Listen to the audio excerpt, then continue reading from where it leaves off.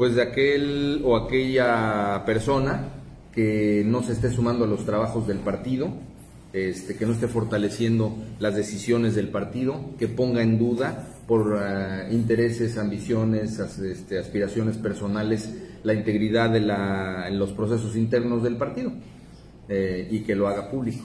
Yo creo que debe de ser esto eh, un proceso mucho más eh, moderado, más mesurado, porque es lo que requiere hoy la población. Quintana Roo requiere de gente que esté decidida a trabajar para la ciudadanía, que lo haga en suma y no en división. Las divisiones nunca le han servido ni a los propios personajes que las provocan, ¿no?